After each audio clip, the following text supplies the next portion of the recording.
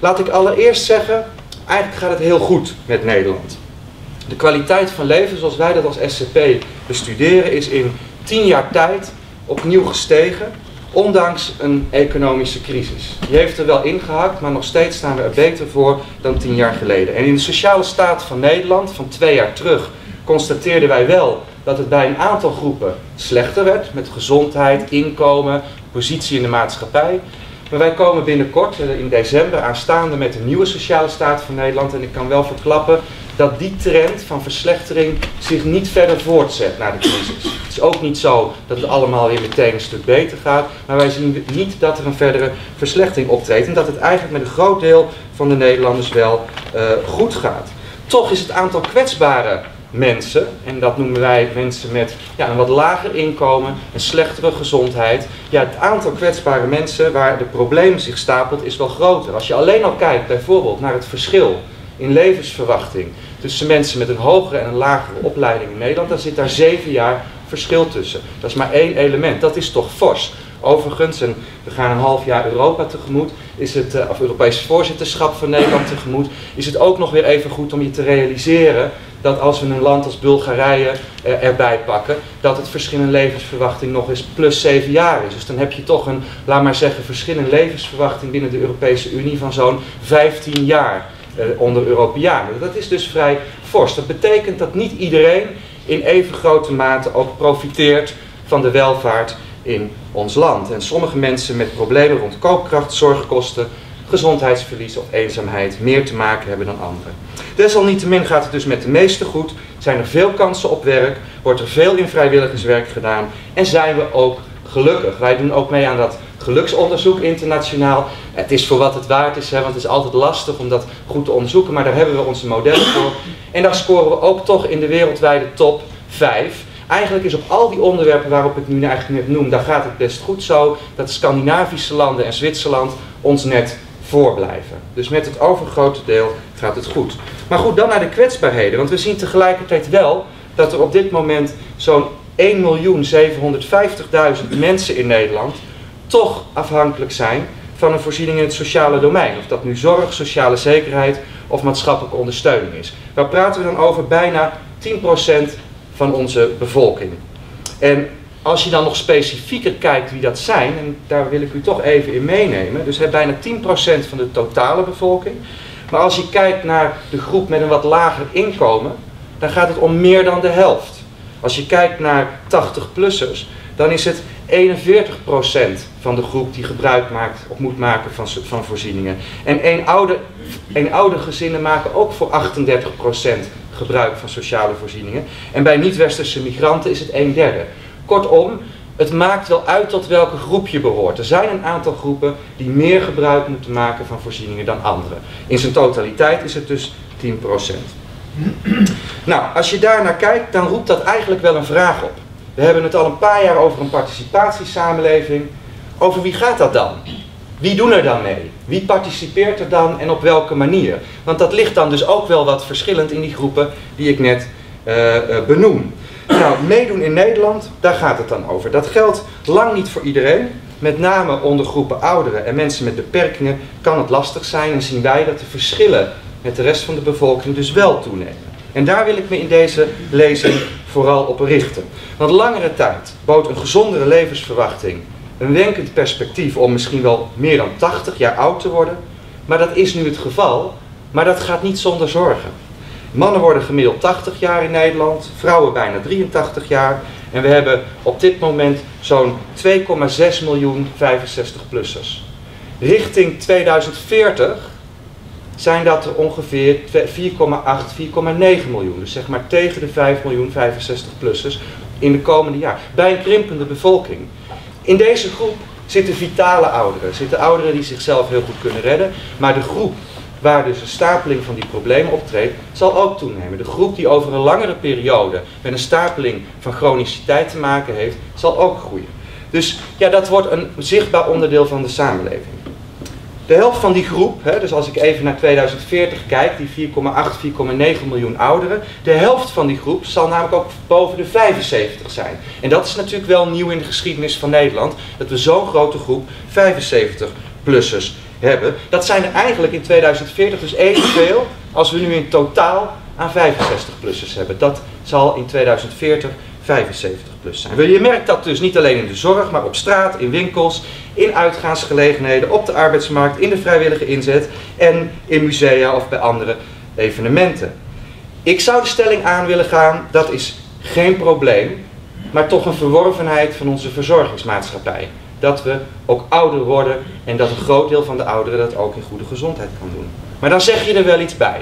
Want ik heb ook gezien in al onze onderzoeken dat natuurlijk niet iedereen vitaal, krachtig, hoger opgeleid, eigenwijs en geëmancipeerd is. Maar dat er ook ouderen zijn die eenzaam zijn, minder mobiel, meer chroniciteit hebben. Nou, dat verandert wel in de loop der tijd. De groep ouderen op zichzelf ook. Want er is een stapeling van ziekte bij een deel van de mensen. Maar een groot deel van de mensen zal ook hoger opgeleid zijn. De groep ouderen richting 2040 zal ook twee keer zo hoog opgeleid zijn dan de ouderen van nu. Die halen hun informatie dus ook op verschillende plekken. Onder andere bij u als WMO-raad. En ja, bezinnen zich ook op een andere manier. Zoeken wegen naar zorg als je dat dus kunt. Maar het opleidingsniveau zal hoger zijn.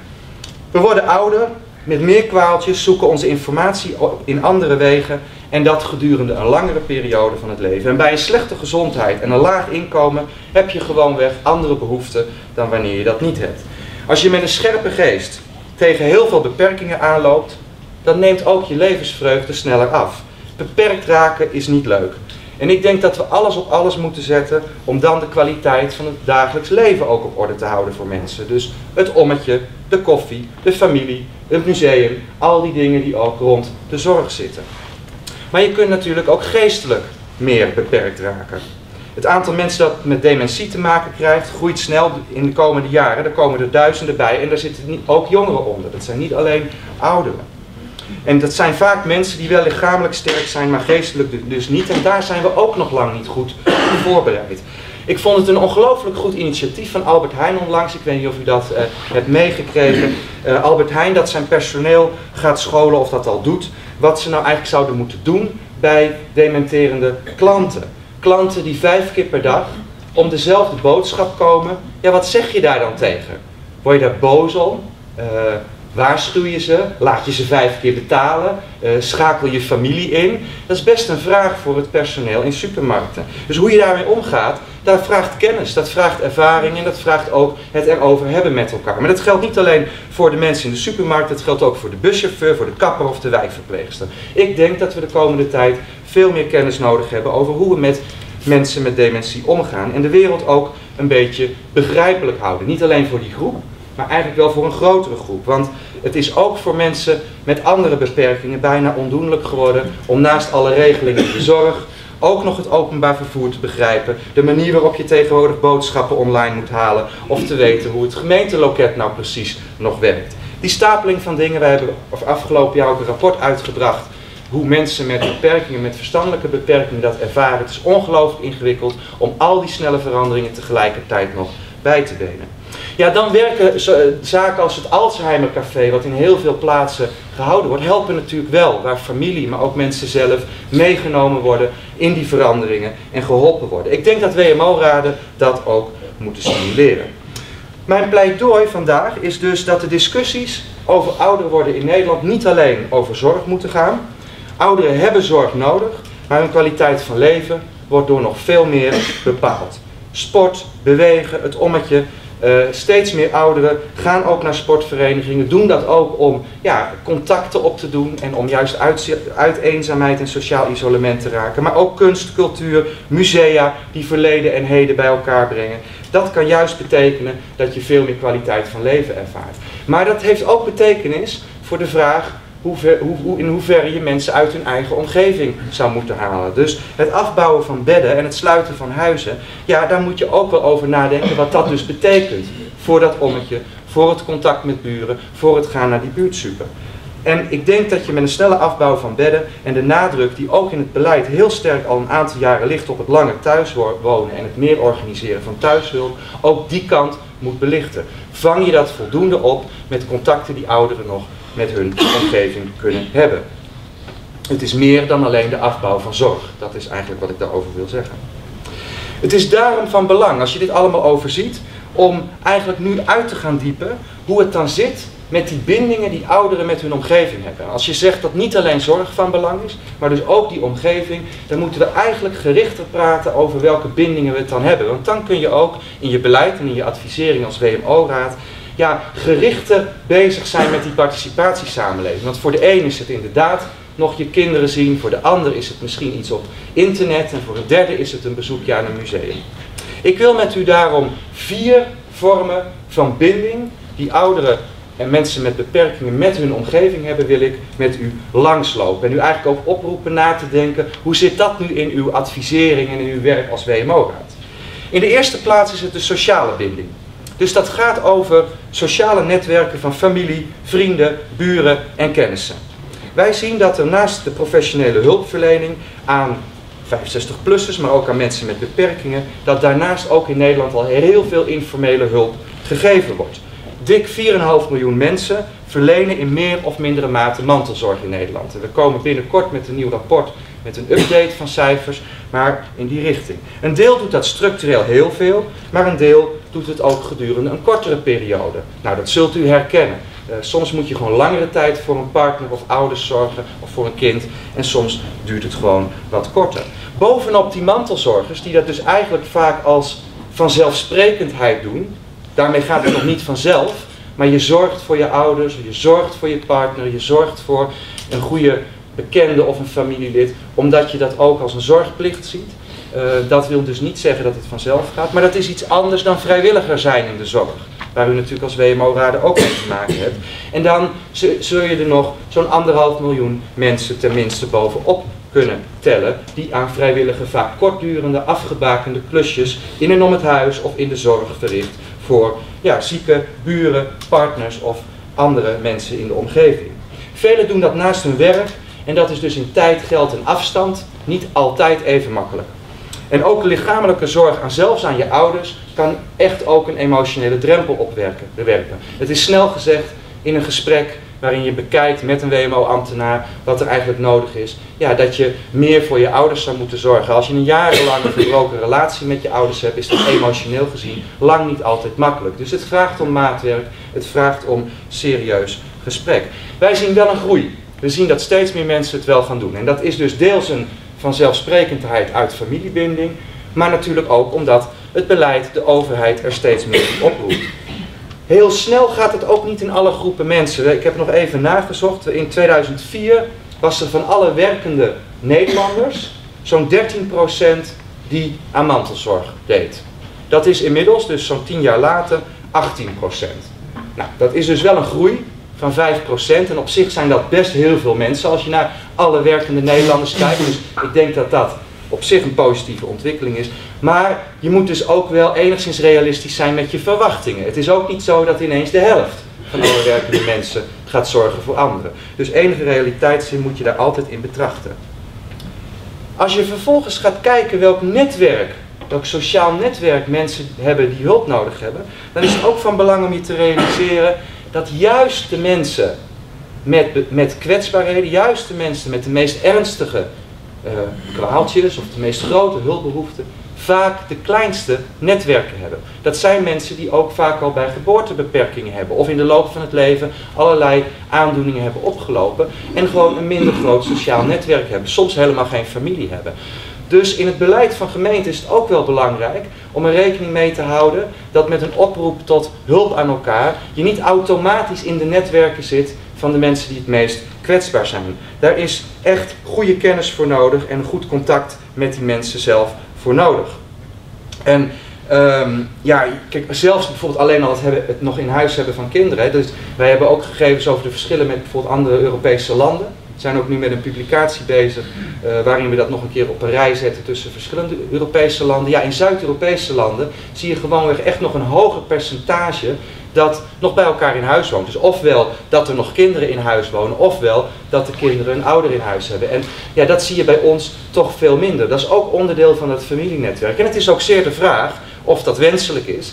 Maar nou, dat laat ik ook een beetje aan de discussie aan u. Maar dat is wel een groot verschil in verwachtingen die je kunt hebben, bijvoorbeeld ten opzichte van andere landen in Europa. Als er geen familie is, dus dat is het ene deel van die sociale binding, ja, dan kom je dus terecht op buren, vrienden, mensen in je nabije omgeving. En dan is hulp ook niet altijd zomaar te vinden.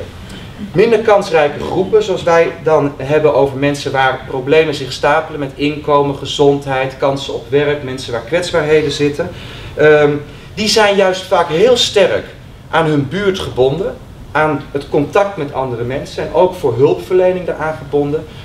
Maar daar is vaak heel weinig mogelijk. Dus je ziet dat juist lager opgeleide en kwetsbare ouderen hun netwerk dichtbij hebben.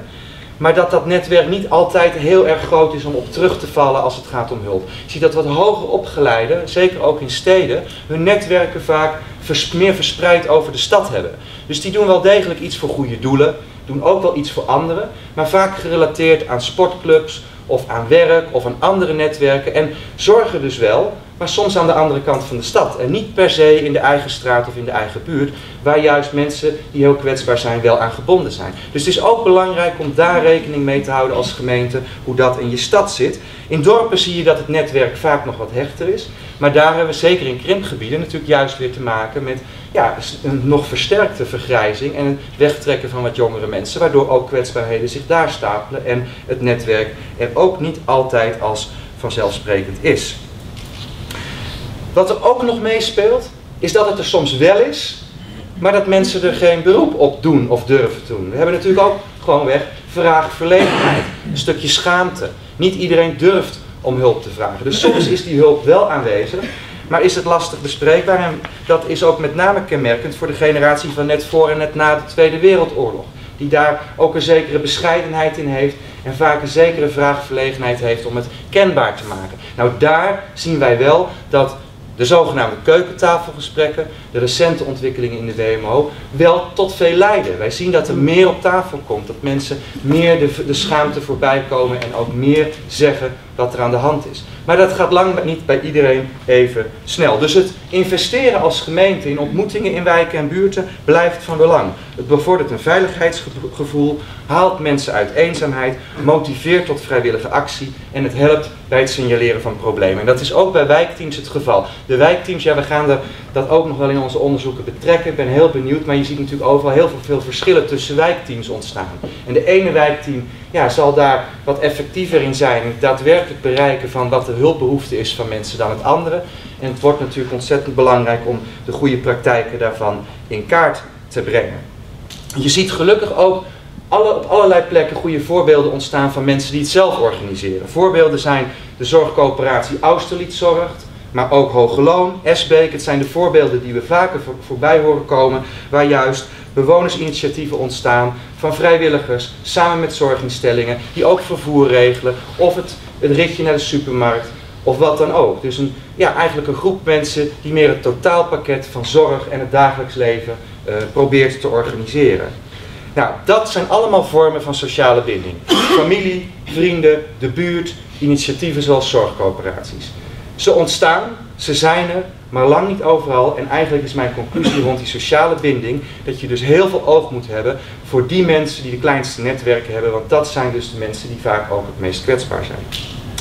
De tweede vorm van binding, naast de sociale binding, is wat wij functionele binding noemen. Nou, waar gaat dat dan over? Dat gaat er gewoon over, kun je in je buurt toch boodschappen doen? Kun je naar die buurtsuper lopen? Kun je er naar de kapper, kun je er naar de bibliotheek of bijvoorbeeld naar een gemeenteloket. Dus kun je gewoon de dagelijkse behoeften buiten de zorg om nog regelen. Nou ja, dat is niet in elke gemeente, elke wijk, elke buurt nog het geval. Ik durf wel de stelling aan dat het voor een grote groep ouderen soms belangrijker zal zijn om dat ommetje naar de supermarkt nog te kunnen maken dan de oplossing in nog meer zorg te zoeken. Het sociale contact, het dagelijks nog even andere mensen ontmoeten, dat kan soms veel meer verschil in de ervaren kwaliteit van leven ervaren. Daarmee zeg ik natuurlijk niet dat je de zorg niet op orde moet houden. Maar ik denk wel dat het een gemeentebestuur siert om vaak even iets verder te kijken dan wat de zorginstelling doet en bijvoorbeeld het investeringsklimaat voor een buurtsuper op orde te houden. Het in stand houden van ja, uh, supermarkt, bibliotheek kan heel veel betekenis hebben voor de kwaliteit van leven van ouderen. En ook daar zie je weer dat die zorgcoöperaties en die initiatieven die nu ontstaan wel goede dingen doen. Ik zie bij veel verzorgingshuizen dat dat bijvoorbeeld gaat over het ouderen nog meenemen naar, nou, of dat nu de supermarkt is of de viskraam, dat wordt vaker weer georganiseerd. Maar nogmaals, het is in heel veel kernen, zeker ook in dorpen, verdwenen. En daar zie je plekken waar nog maar weinig ondernemerschap is. En daar uh, is dat nijpend voor het sociaal contact in mijn ogen. Dat zijn functionele verbindingen met je omgeving. In de steden is er wel iets specifiekers aan de hand, want daar zie je ook dat de aanwezigheid van voorzieningen zich vaak in bepaalde wijken concentreert en dat het dus steeds ongelijker verdeeld raakt over de stad, die voorzieningen. En dat je veel verder moet reizen naar allerlei, uh, naar allerlei voorzieningen, of dat nu gaat over een bibliotheek, een supermarkt of iets anders. Nou, waar slaat die ongelijkheid dan het meeste neer? Bij wie komt die dan het hardst terecht? Nou, wij doen ook veel onderzoek naar bijvoorbeeld de aandachtswijken in steden. En daar zie je heel duidelijk dat de afwezigheid van functionele voorzieningen, de scheve samenstelling van de woningvoorraad, dat dat de problemen met veiligheid, met integratie, met onderwijs, maar ook met leefbaarheid vergroot. En dat geldt zeker voor de kwetsbare ouderen die in die buurt wonen. Je gaat je onveiliger voelen, uh, je komt niet meer buiten, ja, je raakt eenzamer, zeker als die voorzieningen er niet meer zijn. En wij zien dat met name in die aandachtswijken, zien wij dat uh, als een groot probleem. Ik denk dat zorginstellingen die verbindingen wel kunnen helpen versterken. Bijvoorbeeld door een deel van die voorzieningen in huis te halen. in mijn eigen woonplaats, Hardingsveld, Giesendam, in de Alblasse Waard, als u, het, uh, als u iets zegt. Sommigen wel in de zaal, dat weet ik zeker. Um, in mijn eigen woonplaats is verzorgingshuis De Lange Wei actief. Nou, daar draag ik een warm hart toe. Mijn eigen grootouders hebben daar gewoond. Uh, en een geweldige tijd gehad. Dus daar, het zijn werkelijk, uh, ze doen prachtig werk daar. Um, dus ik ben niet geheel objectief in wat ik nu ga zeggen. ik heb een positieve ervaring als kleinkind. Maar wat zij hebben gedaan is ook een restaurant voor ouderen en alleenstaanden in de buurt in huis halen en helpen exploiteren. Zodat ook mensen van buiten er kunnen komen eten. Wat ze ook doen is opleidingen en cursussen van het buurt- en cultureel werk in huis halen. Zodat daar ook jonge mensen, andere mensen over de vloer komen en in contact met hun ouderen zijn. Wat ze ook zijn is een stemlokaal bij voorzieningen. En wat ze ook doen is een sterke verbinding met vele vrijwilligers in de, werk, in de wijk maken. Die met ouderen een, hoofd, een boodschap doen, koffie drinken of een oortje maken. Wat ze op een gegeven moment hebben gedaan, ik, vond dat, ik vind het echt een mooi voorbeeld voor wat mij betreft iedere directeur van een zorginstelling. De directrice had op een bepaald moment bij een personeelsbijeenkomst de vraag voorgelegd aan het personeel wat hebben wij eigenlijk met de wijk? Hoe kijkt de wijk eigenlijk naar ons en wat verwachten ze van ons? En eigenlijk konden ze daar met elkaar niet een goed antwoord op formuleren. En wat ze toen hebben gedaan, is op een in de krant aangekondigde zaterdag met al het personeel de wijk ingegaan, aan iedere bewoner duidelijk gemaakt. Je mag ook gewoon nee zeggen, dan doe je de deur gewoon weer dicht en gaan we verder. Maar we willen eigenlijk gewoon één ding weten. Wat vind je eigenlijk van ons? En zou je eigenlijk later zelf bij ons willen wonen? En wat zou je dan willen? Dat heeft de meest geweldige gesprekken met de wijk opgeleverd. Het is wel een dorp, ik geef het toe, met redelijk wat binding. Maar het heeft structureel 400 vrijwilligers opgeleverd. Die in meer en mindere mate, sommigen maar een uurtje per week, anderen iedere dag, dat ommetje maken, mee naar de supermarkt gaan of gewoon een goed gesprek met ouderen hebben. Die verbindingen die bedoel ik. En ik denk dat verzorgingshuizen daar heel veel in moeten en kunnen investeren. De derde vorm van binding.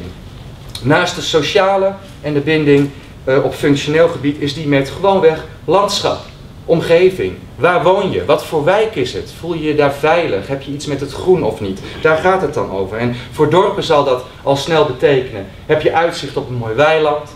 Uh, geniet je van de boten? Uh, of zit je tegen de muur aan te kijken? Dat is natuurlijk dan veel minder plezierig.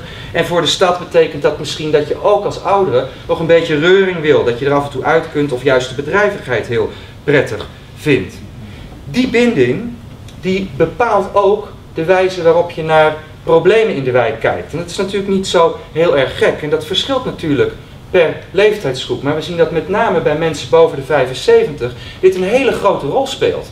Want je wordt steeds afhankelijker van die straat, van die wijk.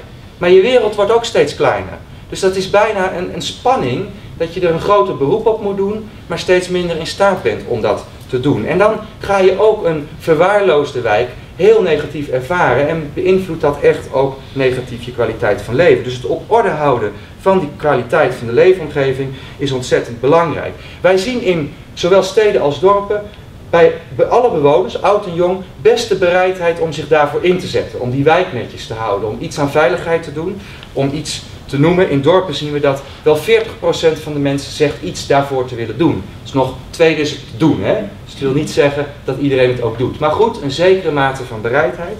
Eh, dat is in de stad lager, in grotere gemeenten lager. Als het gaat om echt burenhulp ligt het ook wat lager, dan ligt het rond de 20%. Maar al met al zijn er nog wel wat mensen die iets willen doen. Veel te weinig denk ik, maar er zijn wel wat mensen die iets willen doen.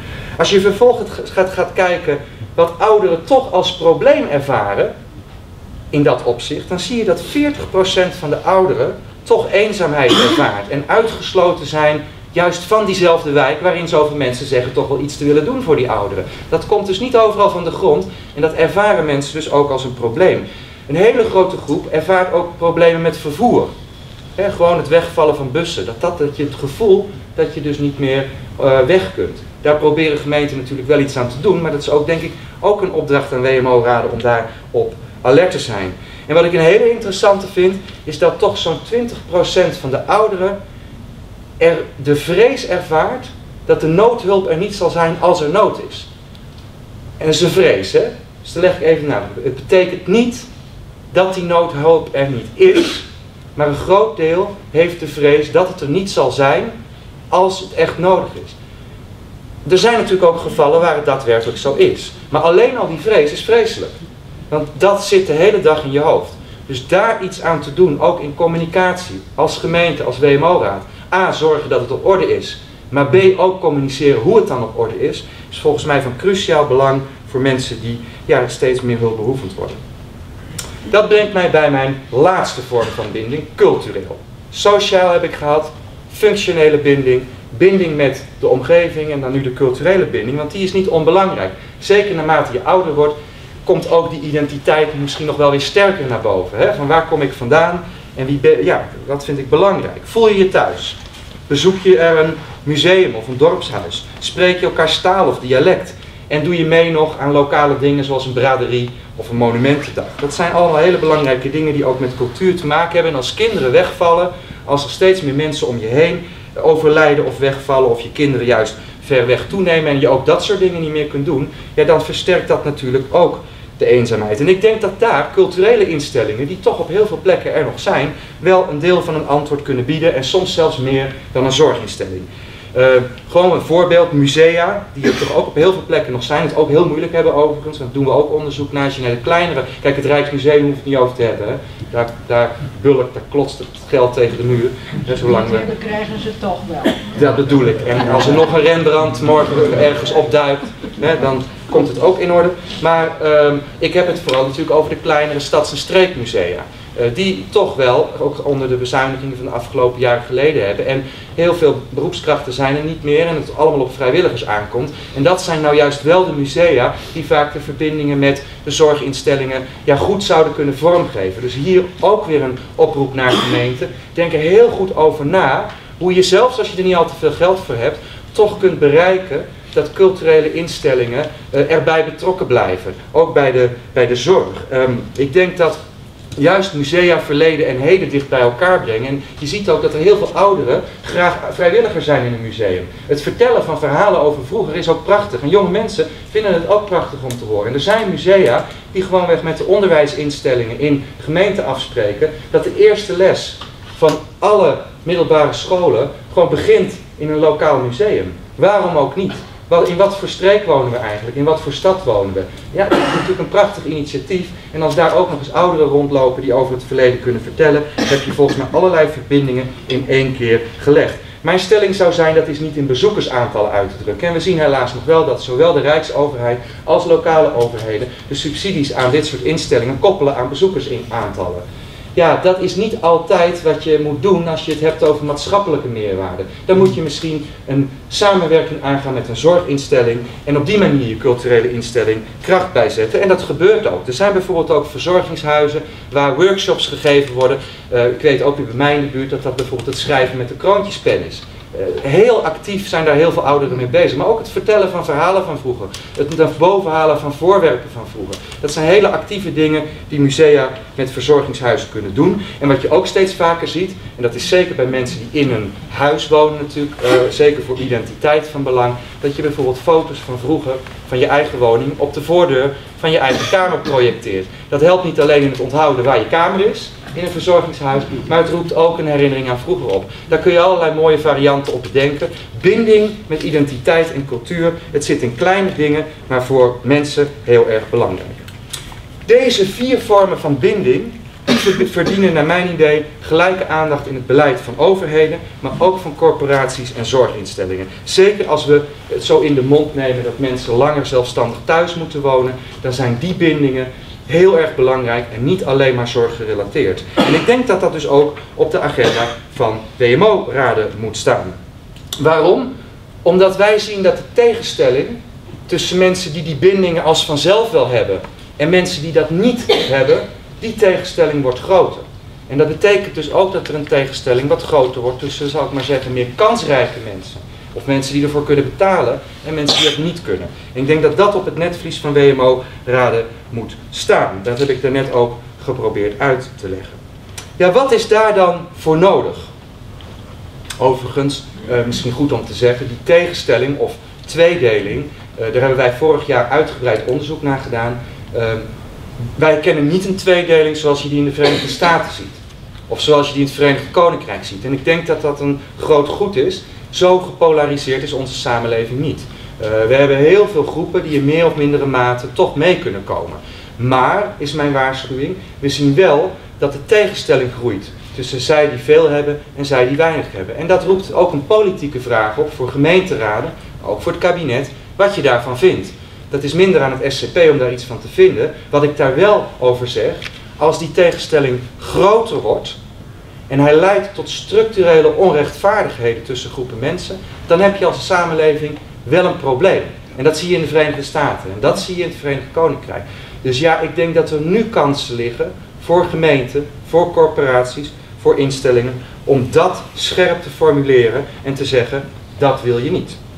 Wat is daarvoor nodig? Dan kom ik tot dat deel van mijn lezing. Ik heb geprobeerd te schetsen hoe ik zie dat op dit moment, uh, ja, wat er aan de hand is, wat er aan bindingen is, maar je moet natuurlijk ook zien te vertalen naar een agenda. Laat ik eerst iets kritisch zeggen.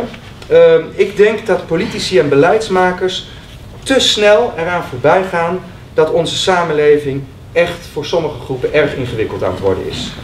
Uh, ik noemde dat net al, mensen met beperkingen, mensen met dementie, maar ook anderen. Het is niet alleen de zorg en de snelle veranderingen in de zorg, maar het is dus ook de trein, de supermarkt of een ander loket waar je je weg in moet zien te vinden. We moeten niet onderschatten dat dat afstand creëert. Dat als mensen het gevoel hebben dat allemaal niet meer te kunnen en er ook niet de middelen voor hebben om bijvoorbeeld nog met de trein of iets anders te gaan, dan wordt je wereld heel erg klein. Dat is wel de groep mensen waar de wetgeving natuurlijk zich op, op, op te richten. En waar u het met uw gemeente over hebt. Heb je die goed op het netvlies? Dat, ik denk dat dat niet altijd het geval is. En daar zou ik wel een pleidooi voor willen houden. Want niet iedereen redt zichzelf. En zeker ook de mensen daaromheen hebben niet altijd de tijd of de kennis en de ervaring beschikbaar om het allemaal op orde te houden. Zeker als het ook nog allemaal digitaal moet. Zorgbeleid gaat er dus ook over om dat voor mensen zelf en hun omgeving begrijpelijk te houden. En ik denk dat u als WMO-raad daar een hele belangrijke rol in speelt. En als je het optelt, toch ook bij een grotere groep ouderen die ook armoede kent in Nederland, ja, dan moet je ook nadenken over hoe de dingen betaalbaar blijven. Uh, want als je geen geld hebt om te reizen, uit te gaan of vrienden te ontvangen, dan houdt het ook snel op met die binding. Het komt dan aan op vrijwillige inzet, mantelzorg door anderen. En gemeenten kunnen hier natuurlijk in het kader van hun gedecentraliseerde taken wel ondersteuning bieden. Soms ook financieel, soms door goede verwijzingen naar professionals of het beschikbaar stellen van kennis gewoonweg over waar mensen hun voorzieningen kunnen krijgen. Of gewoon door mantelzorgers te waarderen. Maar het moet wel kunnen. En ik weet ook dat ik zie u ook denken, hebben we daar dan de middelen voor? Hebben we daar dan het geld voor? Ja, dat is natuurlijk het stevige gesprek wat ook lokaal, maar ook in Den Haag moet plaatsvinden. Maar dit moet wel de focus zijn in mijn ogen. En ik denk dat daar ook tal van nieuwe wegen zijn om daar mensen bij te betrekken. Uh, ook te achterhalen wat mensen echt belangrijk vinden. Ook digitale wegen. Ik denk dat we vaak nog veel te klassieke manieren in gemeenteraden praten over wat we denken dat mensen nodig hebben. Vraag het mensen zelf. Haal ervaringskennis op. Er past eigenlijk niet langer een overheid die het allemaal van bovenaf oplegt. Maar veel meer een stimulerende overheid die een helpende hand biedt en echt wel verbindingen legt met die musea, met zorginstellingen, met welzijn, met vervoer en met bedrijven. Ik noemde al die bewonerscorporaties, die proberen dat te doen. Maar je moet je natuurlijk wel de vraag stellen, wie zijn dat? Zijn dat dan niet opnieuw de meer kansrijke mensen die het allemaal voor zichzelf kunnen organiseren, die die zorgcoöperaties en die bewonersinitiatieven uh, ondernemen? Niet allemaal. Want het zijn ook initiatieven waar ook bij, voor kwetsbare ouderen gezorgd wordt. Of waar werkloze uh, mensen weer, weer een, een zinvol bestaan krijgen.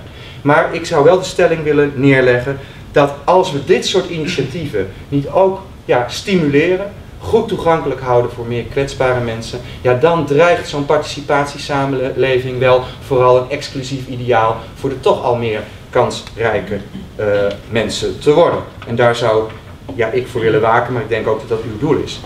Wat voor agenda is er dan voor de WMO-raden weggelegd, als dit de boodschap is?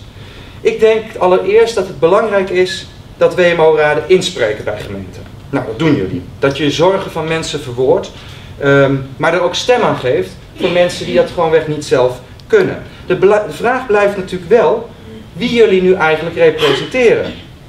En of jullie, dus laat ik dat ook met enige kritisch uh, blik naar u neerleggen, of jullie die vier vormen van binding voldoende inbrengen, op de agenda zetten en daar voldoende ervaringen van mensen over ophalen.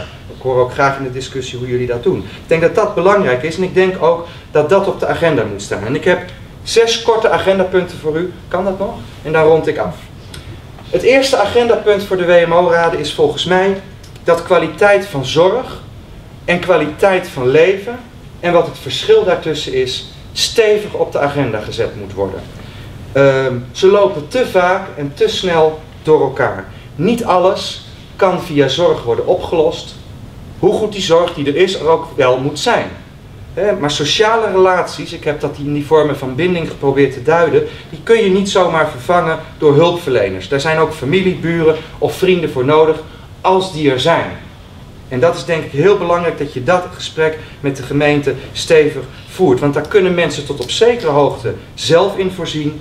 Maar op een bepaald moment zit er iemand tegenover je, als die al tegenover je zit, die eenzaam is. En die dat allemaal niet heeft. En dan? Wat doe je dan? Juist dan is het belangrijk dat bewegen, een boodschap doen, naar een museum kunnen gaan, een ommetje maken, dat die mogelijkheden er zijn. En ook dat je die mensen toch niet uit die vertrouwde omgeving haalt waar ze misschien niet zoveel in rondlopen, maar juist het laatste stukje identiteit vaak wel aan ontlenen. En ik denk dat de WMO-raden dat debat moeten voeren. Wat betekent dat dan concreet? Nou, ik zou wel eens wat vaker echt actie willen zien voor het behoud van buurtsupers of bibliotheken of culturele uitstapjes. Want ik denk dat dat ongelooflijk belangrijk is en ik weet hoe lastig het is, want dat staat niet op nummer 1 bij heel veel gemeenten.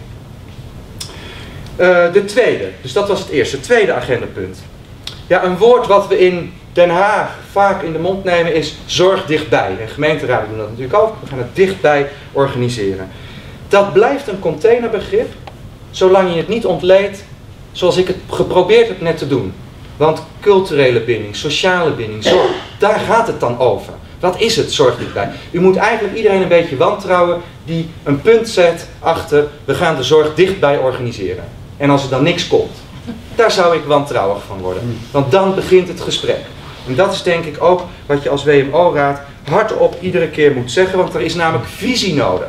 Over welke mensen gaat dit, als je het hebt over zorg dichtbij? Wie zijn daar kwetsbaar in en hoe solidair wil je daarmee zijn? Dat is niet per definitie aan mij, dat is aan het politieke debat ook lokaal. Maar daar moet je wel een visie op hebben. En eerlijk gezegd denk ik dat dat ook geldt voor WMO-raden, dat die visie er moet zijn. Derde agendapunt dat is de rol van technologie. Dat is een lastige, maar toch kan die een rol spelen. En ik denk dat u dat ook kunt stimuleren. Want ik was laatst in een verzorgingshuis, en dat, is, dat voorbeeld wil ik u niet onthouden. Daar werd een app ingevoerd en die app die heet Jenny. Naar een van de verzorgenden in dat huis. En die app Jenny, wat doet die app nou? Die app, die, als iemand in het verzorgingshuis komt wonen, dan wordt afgesproken met de familie dat de familie of goede vrienden samen met het verzorgend personeel op de app kunnen. En op die app kun je elkaar laten weten als er iets aan de hand is, maar er worden ook afspraken opgemaakt. Dus als een kleinkind of een zoon of een dochter afspreekt, oké, volgende week kom ik op vrijdagmorgen langs, dan is er geen professionele hulp van het verzorgingshuis. Maar wat je op die app mag doen, is zelfs een uur van tevoren aangeven, het lukt me niet. En dan is de, is de toezegging van het verzorgingshuis dat ze dan ervoor zorgen dat er wel professionele hulp komt. Wat levert dit nu op? Het levert op dat veel meer mensen die hulp komen verlenen. Want, en dat is ook, al kijk ik naar mezelf in mijn drukke leven, als ik nu, ik heb helaas geen grootouders meer, maar als ik nu naar mijn opa of oma zou gaan en ik zou nu moeten afspreken dat ik volgende week donderdag langskom, dan weet ik niet precies of ik het echt ga redden. Als ik een terugvaloptie heb, dat ik het zelfs kort van tevoren nog even tegen de verzorgende mag zeggen, dat zij dan langs gaan, dan spreek je het wel eerder af en doe je toch je best om het donderdag wel te halen. En dat heeft tot veel meer binding tussen het verzorgingshuis en de vrijwilligers geleid en ook tot meer tevredenheid. Het is een klein voorbeeld waarbij je technologie op een menselijke manier probeert in te zetten en het eigenlijk een beetje makkelijker maakt voor mensen om te zorgen. Ik vond dat een mooi voorbeeld wat je als WMO-raad misschien kunt gebruiken om dat te stimuleren. Vierde agendapunt. Ja, de zelfstandigheid van mensen meer centraal. Maar ja, waar hebben we het dan over? Hè? Want voor meer kwetsbare mensen is de wereld niet altijd zo zelfstandig te bejegenen. Dus ja, daar hebben we het over de groep mensen die ook moeite heeft de regelingen te begrijpen. Ik heb het al tegen u gezegd, het zijn ook mensen met een lager IQ. Dus het zijn verschillende groepen mensen voor wie het niet al te begrijpelijk is. En ik denk dat de WMO-raad daar een taak heeft in het toetsen op begrijpelijke en goede communicatie met mensen. Ehm, mag ik over die communicatie één uh, hartekreet meegeven? Ehm, in heel veel kleinere gemeenten zit er al niet eens een journalist op de tribune van de raadsvergaderingen. Laat staan dat onafhankelijke journalistiek rondloopt bij zorginstellingen of bij dorpshuizen om daadwerkelijk te zien wat er aan de hand is. U en ik worden in hoge mate gestuurd door overheidsvoorlichting van gemeenten. Die is niet objectief. Daar zitten colleges achter, daar zitten politieke keuzes achter. Dus overheidsvoorlichting is altijd gestuurd. Daar mag u vragen bij stellen. Daar mag u iets van vinden. En daar zou ik ook WMO-raden toe op willen roepen. Want wij hebben met steeds minder journalisten die dat kritisch bevragen wel een probleem als we alleen maar af moeten gaan op de overheidsvoorlichting die vanuit beleidsplannen tot ons komt. Dus blijf kritische vragen stellen, zeker als anderen dat niet doen. Vijfde agendapunt, de mantelzorg. Kijk, wat wij zien als wij doorkijken naar 2030 met een grotere groep 65-plussers, dat betekent dat ook steeds meer ouderen voor elkaar moeten gaan zorgen. Dus het zijn niet allemaal de kinderen en de kleinkinderen die de mantelzorg zullen gaan doen, maar in toenemende mate ook 65-plussers die voor elkaar gaan zorgen. Dat zie je nu al op heel veel plekken. Die hebben soms, dus de mantelzorgers, ook een beetje ondersteuning nodig. Het is lang niet makkelijk om dat iedere dag te moeten doen. Dus aandacht juist voor die groep ondersteuners is mijn vijfde agendapunt. En het laatste, het slot, de zesde, is dan wel die kinderen en die kleinkinderen. Want die moeten ook werken. Die moeten kinderopvang regelen. En die willen ook best een stukje zorgen, maar dat is niet altijd gemakkelijk. Dus soms is juist ook ondersteuning aan die groep belangrijk om allerlei andere vormen van zorg en hulpverlening niet nodig te hebben. Dan kan er net iets meer. Nou, zo'n app kan daarbij helpen. Maar het kan ook al betekenen dat werkgevers, dus dat je als de gemeente moet oproepen om nou juist bij werkgevers in de regio is wat meer te pushen dat ze de zorgverlofregelingen gebruiken. Want een heel ander onderwerp, daar doen we ook onderzoek naar. Wij zien dat de bestaande zorgverlofregelingen die er zijn, gewoonweg niet gebruikt worden. Dus er wordt heel snel gezegd dat het niet kan, maar er zijn regelingen. Alleen soms weten werkgevers het zelf niet eens, soms willen ze niet en soms weten mensen het gewoon niet. Je kunt dus ook als WMO-raad je gemeente oproepen. Weten jullie dat eigenlijk? Of er regelingen zijn? En praten jullie wel eens met de bedrijven in de regio? Ik sluit af. Ik heb geprobeerd u te schetsen hoe het met de ouderen zit, hoe het met binding zit en wat een agenda is. Ik sluit af met een positief beeld van ouderen. En dat is een anekdote. Deze lezing bracht me eigenlijk terug bij het zogenaamde Act Your Age Festival in Maastricht. Dat ging over ouder worden in Nederland en dan mocht ik een verhaal houden. En, dat ging over dans en ouderen. En daar liggen vaak wat taboes op, want we hebben nog wel een ander probleempje in onze samenleving. Dat er ook allerlei taboes rond ouder worden zitten. Nou, dat, daar gaan we nog wel wat mee te maken krijgen, want ja, we zijn zo meteen met z'n 5 miljoen in, eh, in 2030. Dus nou, daar moeten we iets mee. Zeker dans. En jongeren vinden dansende ouderen gewoon vaak een beetje gek. Voelen ze zich ongemakkelijk bij. En bij dat festival waar ik sprak betrad een, een prachtige vrouw, 80 jaar oud, het podium. Was een danseres, ook van lange tijd geweest, maar betrad het podium in een stijlvolle jurk, zich heel bewust van haar lichaam. En ze danste alsof er niemand in de zaal zat. En ze deed haar dans. En je zag dat die jongeren een beetje lacherig werden, begonnen te schuiven op hun stoel, niet wisten hoe ze zich moesten gedragen, zich wat ongemakkelijk voelden, totdat ze echt die vrouw zagen staan en naar keken en eigenlijk ook kippenvel kregen. Je zag het gebeuren in die zaal van wat moois daar op het podium gebeurde. Ze kregen minutenlang staande ovatie van die jonge mensen. Het waren eigenlijk prachtige oude mensen naast prachtige jonge mensen.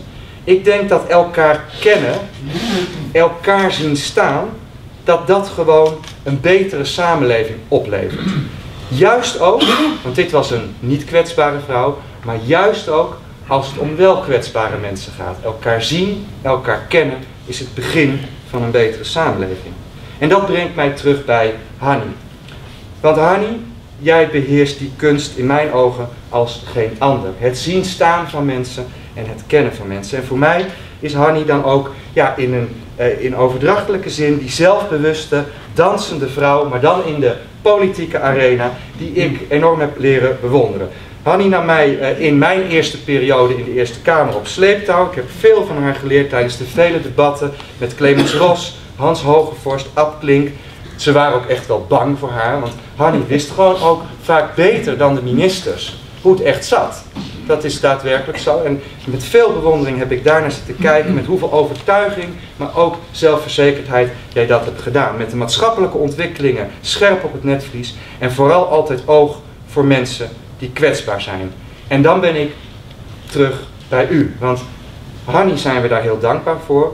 Maar dat is ook wat u doet en wat u probeert te doen. Oog hebben voor mensen die kwetsbaar zijn. En eigenlijk wil ik daarom eindigen met de oproep dat te blijven doen, maar vooral ook daarop elkaar te blijven inspireren.